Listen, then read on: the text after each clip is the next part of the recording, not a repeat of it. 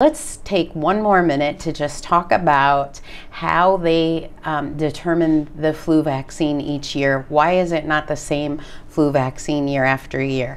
And um, it, you had mentioned in a previous episode of us talking about being healthy and keeping healthy through this cold and flu season that they. Um, that we anxiously wait for data about how effective is the flu vaccine this year.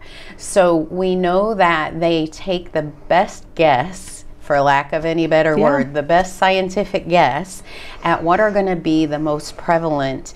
And I think people often misunderstand that that most prevalent means yep. the one that's going to be the toughest, hardest hitting um, virus that's going to most likely end up. Um, in hospitalization to, yeah. to folks um, and come up with that. And you had talked about this year's vaccine. Tell me what that preliminary data yeah. is showing. Yes, and the infection nurse in me just loves data and loves this science. So, um, but you're exactly right. Scientists will track the different um, strains of flu virus over time. They do watch even during non-cold and flu seasons how the flu is spreading.